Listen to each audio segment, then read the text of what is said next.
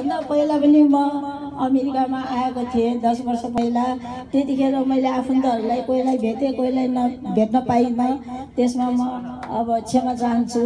र यसपालि दस वर्षपछि म अमेरिका आउँदैछु र पनि यहाँ समाजले मलाई एकदमै सम्मान गर्नुभयो। म ज्यादै नै खुसी छु।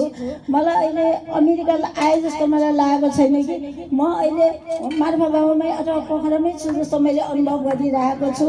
र त्यस्तै गरेर हाम्रो मार्फत समाजले जहाँ गए पनि आफ्नो सांस्कृतिक आफ्नो वेशभूषा आफ्नो के अरे पहिचानहरू कहिले पनि भुलेको छैन जस्तो मलाई अनुभव गरि भइरहेको छ।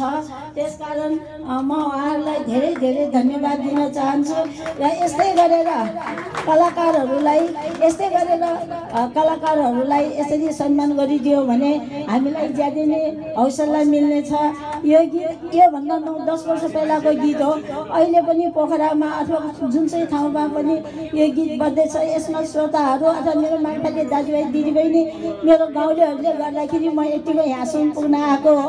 अहिले यो जुन मार्फत समाज अहिले नियोगमा भएको मार्फत समाजले जुन मलाई सम्मान गर्नुभयो त्यो सम्मान मेरो होइन कि मलाई गाउँको भएको जस्तो मैले अनुभव अनुभव गरेको छु। त्यसकारण म उहाँहरूलाई धेरै धेरै धन्यवाद दिन चाहन्छु। र यहाँहरूले मलाई जहाँसम्म लाग्छ जस्तो सुकै ठाउँमा गए पनि जस्तो सुकै सुकै विदेशहरूमा गए पनि उहाँहरूले नभुल्नु कसैलाई पनि भुल्ने छैन जस्तो मलाई लागेको छ। त्यसकारण म यो जुन अहिले आयोजन गर्नुभएको छ उहाँहरूलाई पनि म धन्यवाद दिन चाहन्छु। र मैले यस्तो सोचेछु कि यो जुन यो गीतले स्थान पाएको छ। यो ज्योति गुरुङ बहिनीले गर्दा गर्दाखेरि पनि हो। किन भनेपछि उहाँको यस्तो मिठो स्वर नभएको भए सायद यो गीतले पनि स्थान पाउने थिएन होला। र उहाँले गर्दाखेरि र सुनिल थापा भाइले गर्दाखेरि यो गीत उच्च स्थानमा पुगेको जस्तो मलाई अनुभव लागिरहेछ।